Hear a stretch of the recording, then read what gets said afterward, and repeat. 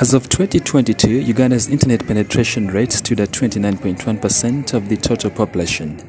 Whereas there are efforts to grow this statistic, the regulator says connectivity and affordability remains a huge challenge to those operating online businesses. Irene Kaggwa Sewankambo was speaking during celebrations to mark 11 years of Jumia's operation in Uganda. Others realized that they didn't even need to rent expensive storage suddenly landlords were not very happy with what COVID unleashed because people did not have to go and rent and fight for the ground floor of all these buildings.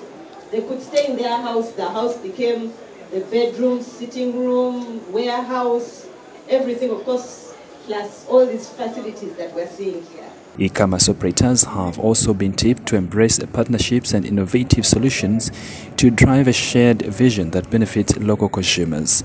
So this is, happens for the 87% which are delivered to the customer. The 13% which come back for whatever reason, you will not be get paid for it, right? Because this item is back to the warehouse. So now we need to wait for the next sale.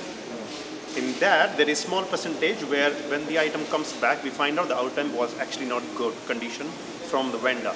And this thing decides that we think that this item was fake, broken, not good quality, not well prepared, etc.